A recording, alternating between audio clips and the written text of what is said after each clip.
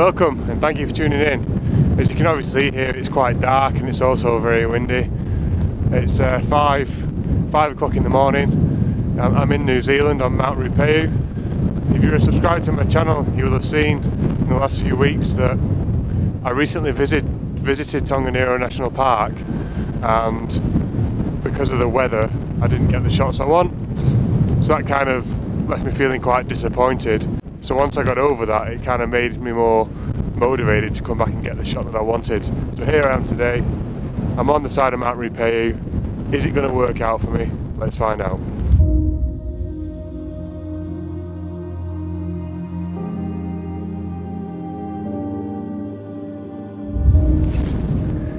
If you want to be part of a community of like-minded people, then you're in the right place. I love challenging the status quo doing things differently. It just so happens that I take great landscape photography images and I share the stories behind them. Subscribe to my channel.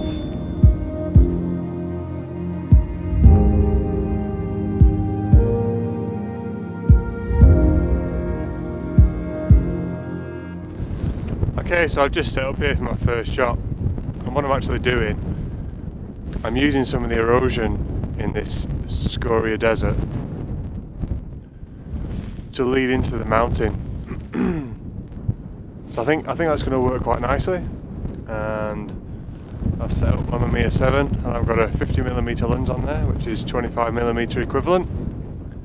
And I've also got a 3 stop medium edge grad filter on there as well to hold back some of the highlights.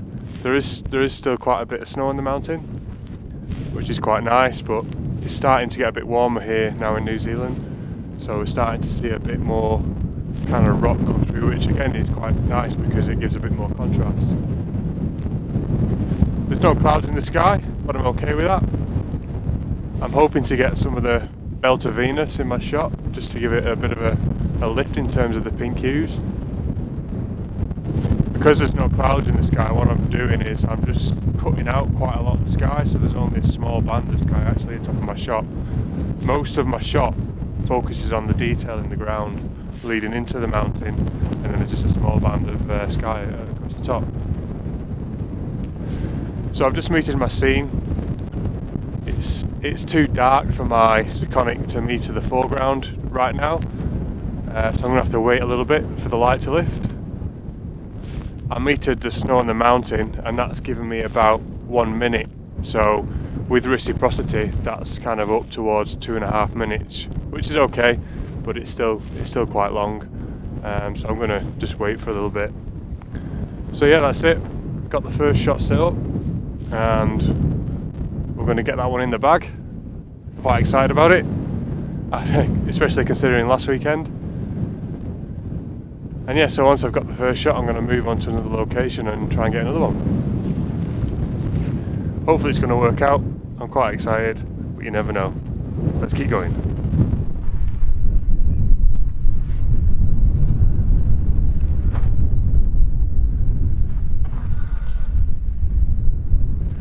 So I got a bit chaotic then. I was running around getting a few photos. I managed, I managed to expose around 10 shots.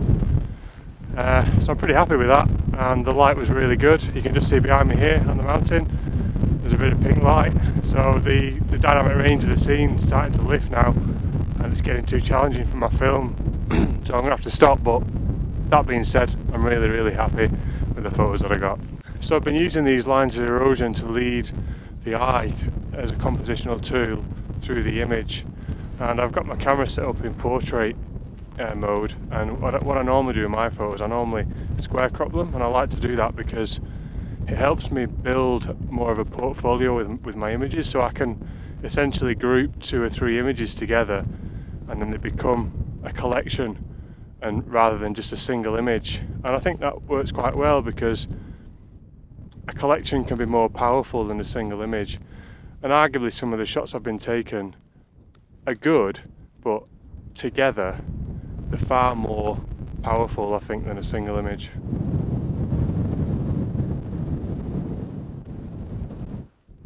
So I'm just walking round back through the compositions uh, that I've been taking photos of today and I thought I would show you the compositions that I've been doing because I was in such a rush this morning to get the good light, I wasn't able to show you along the way.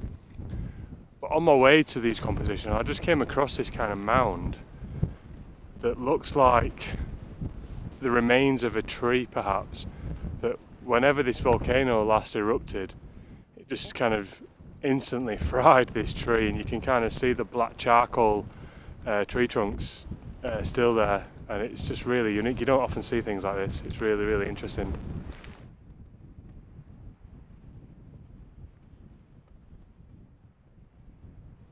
Well, the sun's definitely getting up now. it's really, really bright. So this was one of the compositions uh, that I was taking photos at, and there's this kind of nice sweeping uh, sign of erosion that leads your eye up into the mountain. I quite like it because it's quite curvy, and it kind of really comes in at the bottom of the image and just winds up straight up towards the mountain. So that was one of the shots. Hopefully that works out, and I'll move on to another one. So this was another one of my compositions. I wasn't expecting to take this shot, but on my way to one of the other compositions, I came across this rock and there was just something about it that I just really, really liked. Um, I don't know what it is, I think maybe it's just its size and it kind of framed really nice with a mountain and there's this kind of bank that leads your eye in. It's quite cool. So on Mount Ruapehu there's a there's a crater lake up there that's quite full of water and whenever there's eruption, uh, that lake empties and creates what's called a lahar. So I can only assume that these large riverbeds in this area are from those lahar.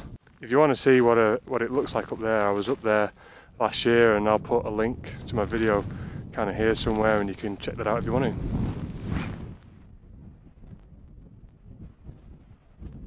So this was another one of my compositions. Erosion again, bit more kind of dramatic. Um, there's obviously been a lot of water that's come through this bit because there's quite a lot of lines. Um, again, quite interesting. Really like the way it leads into the mountain, and hopefully it's going to turn out to be a beautiful composition and image. well, the ground is so soft around here that you can still see my footprints, which is good because it's guiding me back to where my compositions were which is quite useful. Anyway, this is the second composition, and again, a similar shot but different in, in its own right. Again, leading into the mountain, but just slightly different lines. And as you can see from a shadow, this morning I was shooting with the sun behind me, and that's uh, really important if you want to get the Belt of Venus in your shots.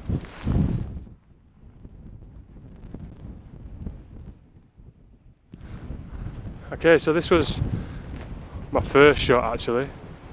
And again very similar but slightly different in its own right as you know erosion lines leading you into the mountain. But now the light's lifted what I can actually see is that there's two clumps of bushes just there. And this morning I thought they were actually rocks. So I'll be interested to see how they turn out on the photos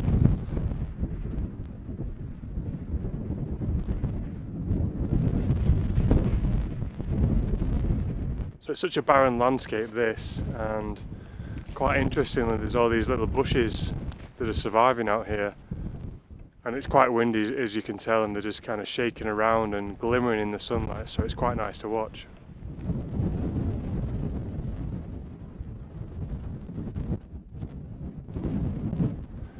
So that's it for today's video. I've just arrived back at my car. I'm feeling quite happy with the shots that I've got. Although you know with film you never know until you get them back from the lab.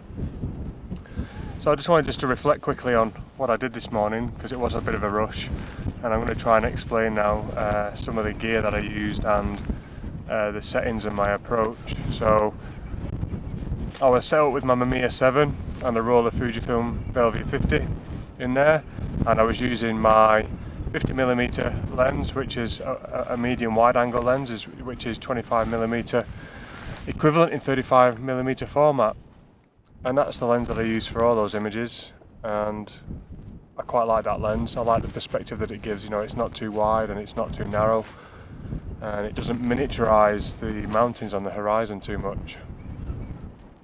So most of my shots were either f8 or f11. As we started off and the, the light was quite low, I was at f8 and then as the light increased we bumped up to f11 and I was metering the scene with my light meter and my exposures were started off around about a minute. And so with reciprocity which is a term that describes the failure of the film uh, my exposures were getting up to two and a half minutes. So that was the first shot and then as the light started to increase my exposures started to come up. So they were up towards 30 seconds and with reciprocity that's 1 minute 6 seconds and then as I moved on and the light started increasing um, I was getting down to like 2 seconds. And with the reciprocity that's 2.5 seconds. And with each shot I was bracketing. Um, so as I was metering the scene with my light meter I'm able to meter the, the darkest area, meter the brightest area, average it out. And then as I look back through the light meter and press the reading trigger again. It tells me what EV uh, the scene is or that, that, that kind of spot. So what I'm able to do is I'm able to evaluate the scene to determine the dynamic range of the scene. So then it becomes a game of placement of each EV value. And the way you do this is you have to consider uh, the Ansel Adams um, 10 stop range approach. And basically, what you do is you have to squeeze those 10 stops into the 5 stop film, which is which is easy to do. So you basically place the darkest area around minus 2 or minus 1, and the brightest area no more than plus 2. So that pretty pretty much puts you within the direct dynamic range of uh, Fujifilm Velvia 50. And so yeah, so I was bracketing the scene, and my mid-tones were about plus one and zero, and with my medium edge uh, soft grad filter, that meant I was able to block out the highlights to compensate for that increased uh, exposure compensation. So yeah, went around, did about 10 shots approximately, although I've not counted yet, and feeling quite excited about it.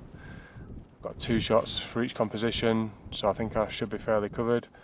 As as the uh, light increased, uh, the, the dynamic range was getting up there a little bit, so getting up towards kind of five, maybe six. So I think maybe some of them, particularly the shots where I was kind of compensating by two stops. Um, I may have overexposed on on the mountain on this with the snow. So yeah, those are the shots. Feeling quite happy about it. I'm really kind of quite impressed with the with the scenery around here. It's you know I've been photographing this area now for nearly a year, and when I first came here, I was really struggling to find compositions because it's so barren. You know, there's there's not much here. Um, but the more I've been coming here, the, the more compositions I've been finding. Yeah, so I guess that just goes to show that you have to really get to know a place um, to really unearth the best compositions. So I've only been coming here a year. I think there's more compositions to be had here. I've, i need to explore more in this area. Um, this morning I've been shooting Mount Ruapehu, which is the largest volcano, but just over my shoulder here on the other side of the volcano is Mount Ngauruhoe in Tongariro, which is another volcano. And as we get further into summer, because we're now in spring in New Zealand, uh, the, the angle of the sun moves so that I'm able to get some shots of Mount Ngauruhoe. And just in terms of my approach for light, I always shoot with the sunrise or sunset to the back of me. And I, and I really like that because it gives really soft colours and it works well with Fujifilm Velvia 50. Uh, it's kind of low, low, uh, low contrast, and one of the best things about using Fujifilm 50 is that it adds contrast. So it's it's kind of a win-win win really. The you know the Fujifilm Velvia 50 gives great colours and, and great contrast, and by shooting with the sun to the back of me, um, it makes the photography easier and the colours nicer. So yeah, I think I think it works really well. It's really windy here today. Still quite a lot of snow on the mountain, so if you're a skier, then it could be quite good for skiing today although saying that I'm not too sure how much uh, snow is still on the mountain, even though it looks like quite a lot. Um, so yeah, that's it for today's video. Thank you for tuning in. I hope you enjoyed that. Um, it's been great to get out and do some photography. And you know, considering my last visit down here where I wasn't successful, I hope, I hope, I hope, well I think, in fact I'm going to be confident I know I've nailed it this time. So yeah, thank you for tuning in and I hope you've learned something. Uh, it'd be really awesome if you would subscribe to my channel. That's the best way to support me now if you enjoy what I'm doing and you know, leave a comment. That would be really, really appreciated.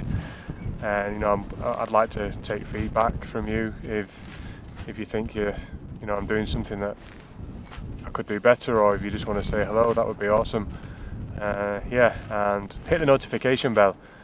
You know, if, if you want to be notified when I upload a video, then that's the best way to do that. And the other way to support me is to visit my social media sites, you know, Facebook and Instagram. And yeah, excited about my shots. I'm going to send them off to the film lab uh, on, on Monday next week. And yeah, hopefully, hopefully I've done the job. That's it. Bye bye, and uh, I'll see you next time.